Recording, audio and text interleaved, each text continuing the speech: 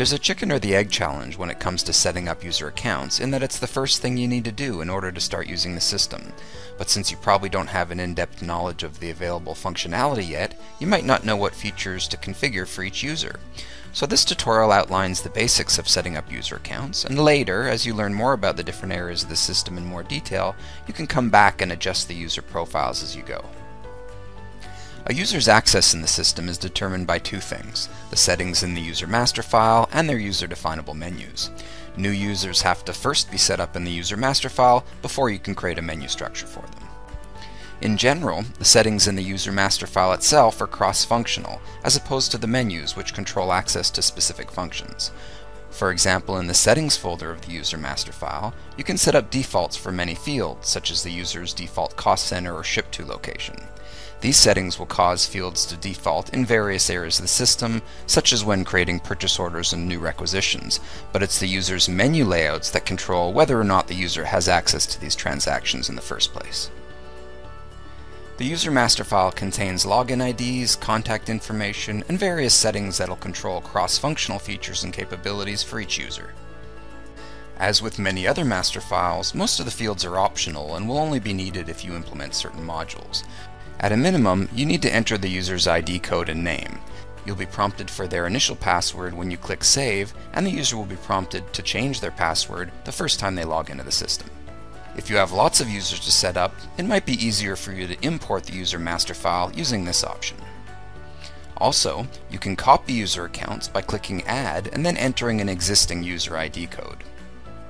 While you can copy other master files like this as well, the ability to copy existing codes is especially beneficial in the case of the user master file, because unlike other master files like suppliers and items and account codes, it's quite common to have groups of users with essentially the same user profile, other than their name and ID of course.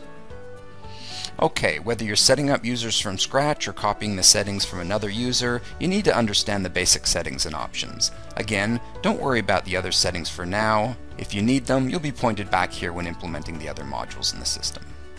In the first tab, other than the user's ID code and name, you might want to fill in the user's email address.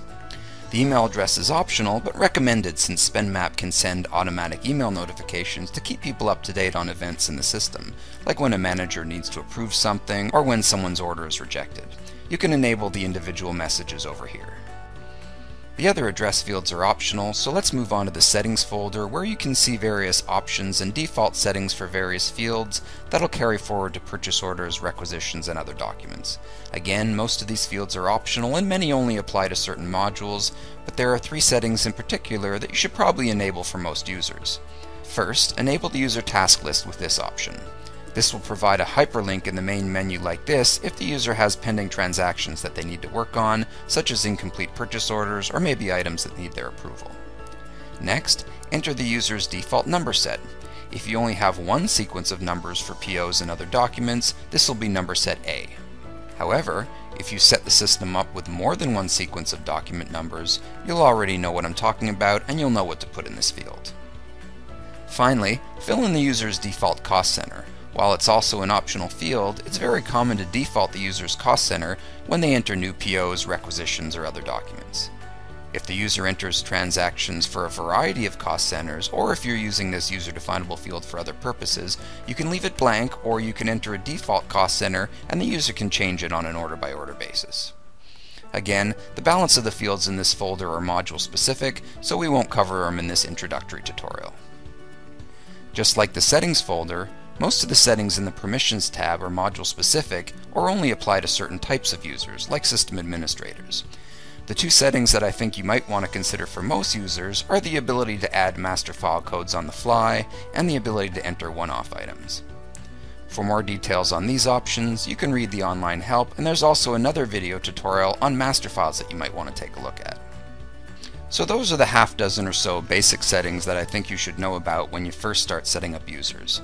If you have specific questions about one of the other folders or one of the other fields, the online help will have all the answers for you.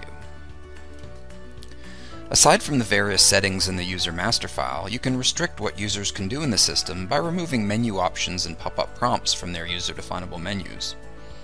So each user or group of users can have a customized menu layout with all or just some of the available menus in the system. This is especially true of casual users like requisitioners who might only have access to a handful of utilities in the system, like the ability to enter a requisition and maybe check the status of their orders. Just like with the user accounts themselves, once you create a menu structure for a user, you can copy their menus to other users with the same access rights.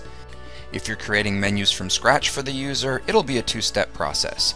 First, you'll use this option to build a menu for the modules you want them to have, and then you can optionally use this option if you want to add or remove individual menus or prompts within the selected modules. As I showed you in the first two sections of this tutorial, you can copy user accounts and user menus from user to user to save time. But if you're setting up a larger group of users, you might want to take advantage of SpendMap's user group feature to update the user master file settings and the user menus for the entire group in one step. You can do this using this field to reference the master users whose rights you'd like to copy. Once you fill in this field for each user in the group, you can then use this menu option to mass update everyone's settings and access. As you can see, you'll be able to mass update just their menus, or you can also select to update the various folders in the user master file as well. And where would a user access and security tutorial be without some mention of passwords? You can maintain passwords within the application itself, or you can integrate with Active Directory so that you don't have to maintain passwords at all in SpendMap.